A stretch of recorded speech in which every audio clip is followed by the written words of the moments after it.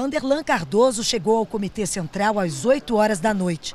Apesar da derrota, foi recebido com aplausos por membros do partido. Cumprimentou os colegas e depois respondeu perguntas da imprensa. Em entrevista coletiva, fez uma avaliação sobre os resultados e lamentou a falta de debate no segundo turno. O eleitor ele não percebeu um debate. Ficou nós apresentando propostas, mas não houve um contraponto. E faltou isso. Então ele não teve a vontade mesmo de ir, porque não teve esse debate. E esse segundo turno teve uma disputa acirrada. Durante a apuração, Vanderlan Cardoso se manteve em segundo lugar, mas com uma diferença estreita do adversário. Ele ficou com 47,40% dos votos válidos e Maguito Vilela com 52,60%. Já o número de abstenções foi bastante expressivo, 36,75%. Além do esconde-esconde, nós tivemos a guerra de pesquisas.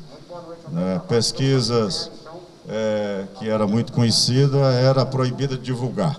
Ao falar sobre o estado de saúde do adversário, opinou sobre o comportamento dos eleitores diante da situação. É a tendência do brasileiro de, de, de ficar comovido com o estado de saúde de uma pessoa e voltar, às vezes, por essa questão de saúde, ainda mais se tratando de um ex-governador do estado. Com a derrota, Vanderlan Cardoso disse que não vai disputar as eleições de 2022 e que agora é seguir no Senado lutando pelo país.